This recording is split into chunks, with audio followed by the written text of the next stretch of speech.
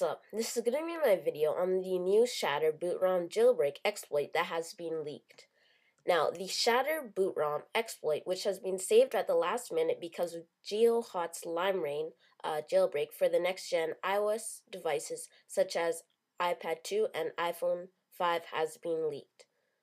Shatter exploit was found by Pod2G in the hardware of A4-based devices, including the iPhone 4, iPad, Apple TV 2G, iPod Touch 4G, and it was originally scheduled for October 10th, 2010. So it was scheduled to be released before GeoHot, and then GeoHot made a surprise return with the limera1n jailbreak for all iOS devices.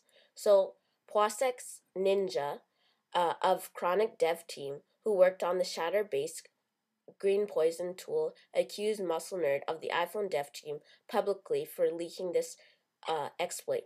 MuscleNerd, of course, pleaded that he did not uh, leak this Shatter exploit because he needed this jailbreak to work on the new unlock for the next iPhone.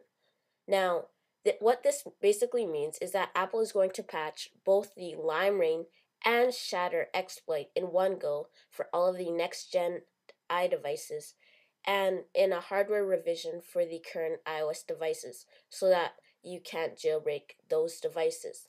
So thank you for watching this video.